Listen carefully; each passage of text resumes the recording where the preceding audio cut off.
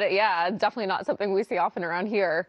Uh, excessive heat warnings, they're now in place. The watches have been upgraded. We now have heat advisories in place for areas all across the Inland Empire and then even into some spots of the foothills. Uh, and some hot as this last heat wave, but we're going to be pretty close. We'll be a couple degrees shy of those high temperatures, but either way, it's going to be hot and it's dangerous heat for some spots, especially for the deserts where it is going to be very hot.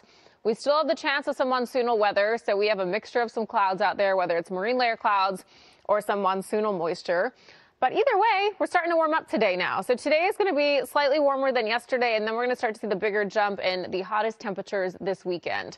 Already seeing temperatures close to 70 out there, so it's already trending a little warmer compared to this time yesterday. I'll let you know how hot it's all going to get over the next few days into the weekend in just a bit, Mark. I'll send it back to you for now.